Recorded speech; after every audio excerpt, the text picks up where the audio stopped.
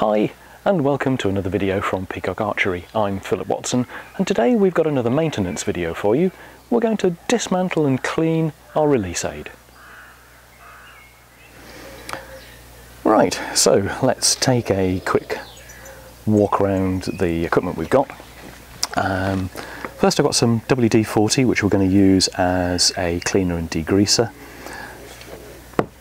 I've got a large plastic bag. This one's Ziploc, but it doesn't have to be. Just something big enough that we can get both our hands and the release aid in. I'll become, the reason for that will become apparent very quickly. Uh, we've got a microfiber towel for cleaning up. We've got some uh, kitchen paper.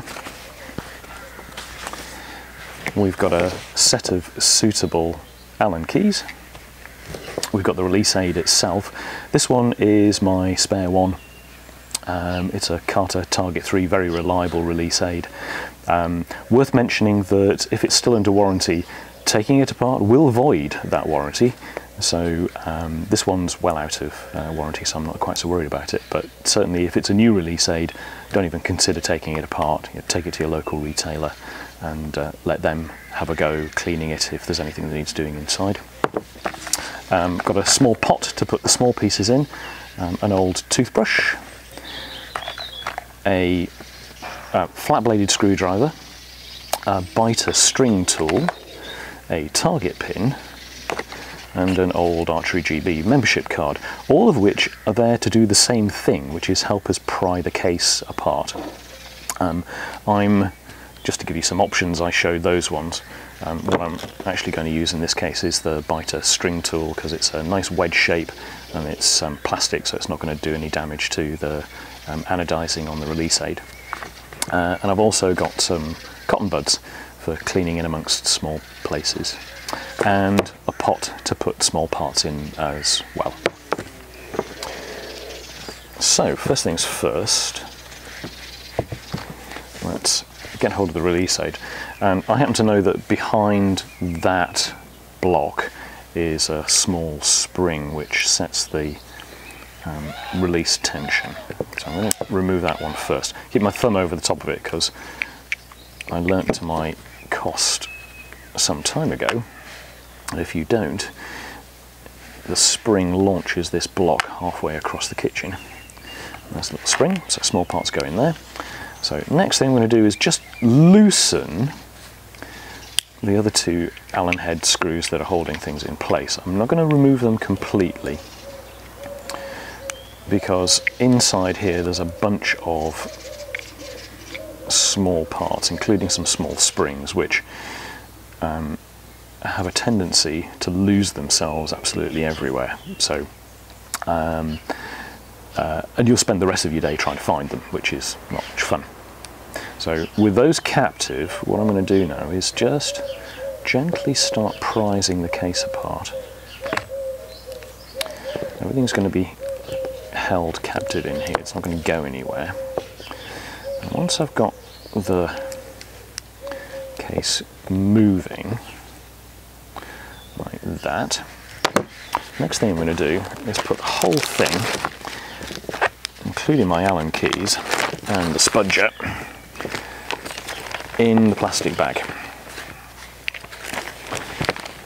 And I know it's a really quite awkward, actually they're probably loose enough for me to do with my fingers.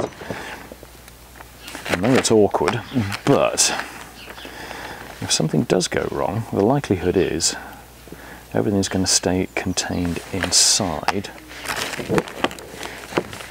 the plastic bag rather than fly halfway around the room. And this can be a little bit awkward. There's a set of pins that hold the two bits together, so you can just kind of wiggle the two bits apart.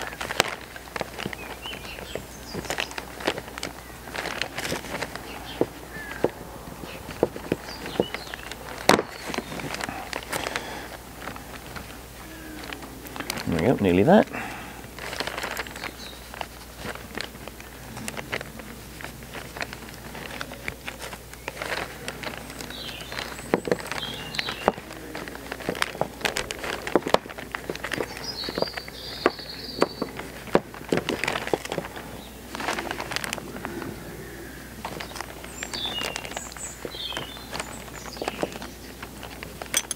Great there's our first part, there's the top case.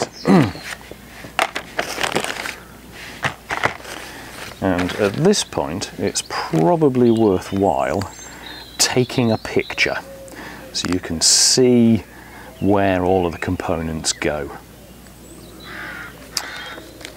And what I'm going to do now is put everything back inside for the next part, which is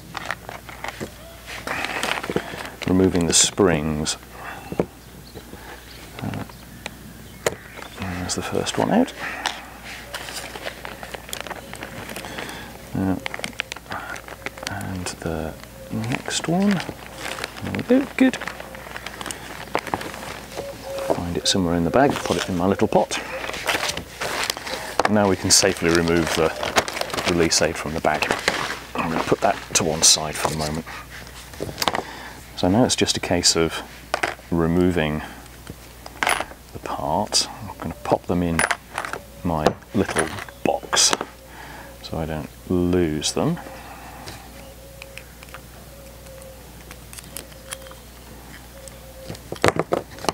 Yep. So I've got two main components which are the top and bottom part of the case. Cleaning is a pretty straightforward process. Just going to put some paper towel down and literally I'm just going to saturate those with WD and set to with a toothbrush. You want to get into all the little nooks and crannies inside the, the holes of the two parts of the case. Agitate away and remove as much of the grunge as you can. Once you're satisfied, if you need to, you can go in with a a Q-tip, cotton bud and just work your way into the little holes. Once you're satisfied everything's nice and clean, you can start mopping up with the microfiber towel. The our goal is to have basically the merest smear of WD left behind, and not really as a lubricant, more as a um, uh, to keep moisture at bay. Um, obviously, we don't want to oil it, we don't want to use any grease or anything like that because all that's going to do is attract dirt, and we don't really want anything in the way of the WD left, so it really is just kind of a haze. This is a little bit more awkward because it's got the pins in way. I'm going through the same process.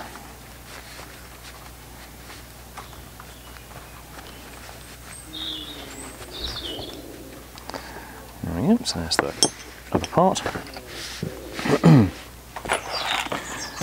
now we can bring out the innards and do the same thing. So spray with WD, agitate those with a toothbrush. So as I said, this um, release aid's been taken apart and done fairly recently, so it's, it's not overly grubby.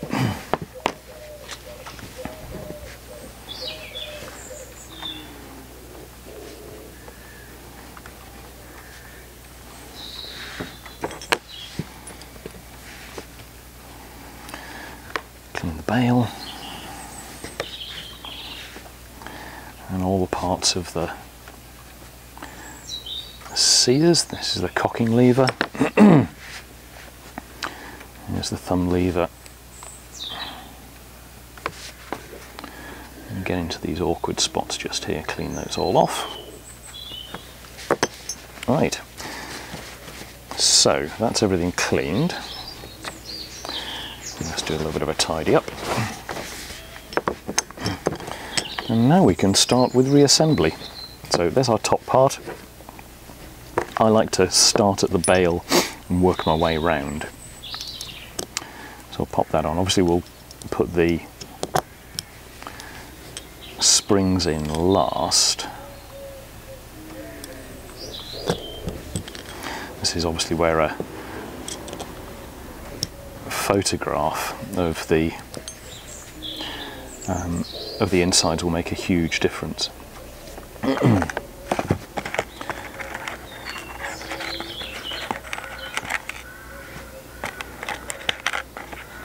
Two main springs.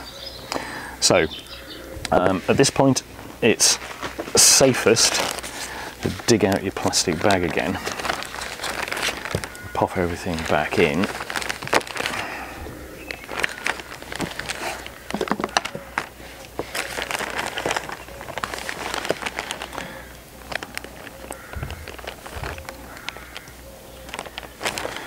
and sometimes a screwdriver can just help you effectively as a mandrel to put the spring on to kind of ease it into, into spot.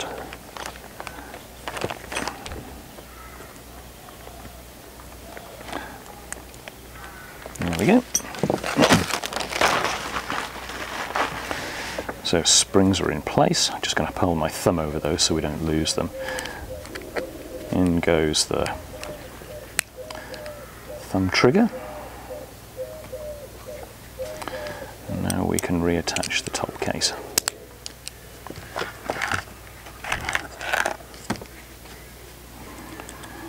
Keeping everything close in. I don't want this to spring apart at this point.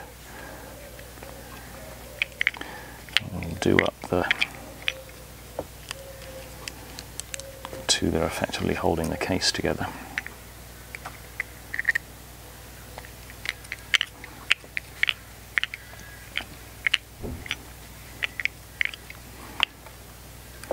Nip those up gently but firmly.